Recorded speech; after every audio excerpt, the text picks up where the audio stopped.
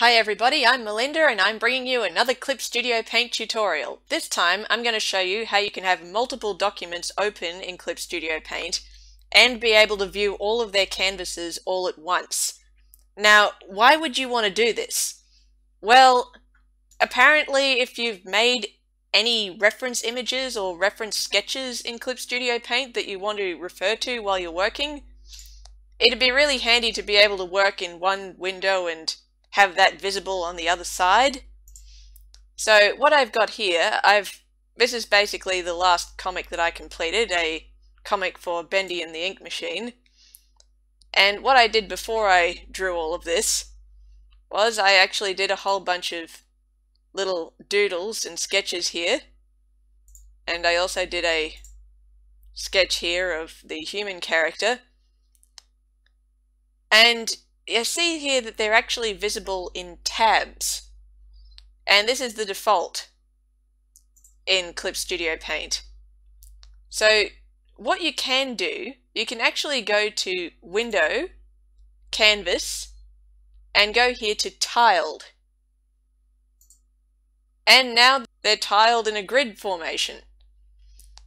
Now, a Clip Studio Paint by default will tile all of these windows in a grid format. But what I can do, if I don't like the way they're arranged here, I can actually click this little tab here that shows the file name. I can click and drag that and it turns red. And I can place that almost wherever I want. I mean, I can place it up here, there. I mean, I wonder, oh, I can have that take up the whole top there. So if I want to, I can actually make multiple columns. Uh, there we go. I can have three columns instead of two. And what I can also do, I can also take this and if there's no red highlighting area, I can actually disconnect it entirely from the interface. So this is now being treated like its own window. The really important thing I forgot to mention here is when you click and drag things around, that red area that appears when you hover your dragging thing, your canvas window I think they're called, when you hover them over, that red area shows where it's going to be placed. So I can even have that as a separate tab if I want to. I mean, this might take a little bit of getting used to the way it works.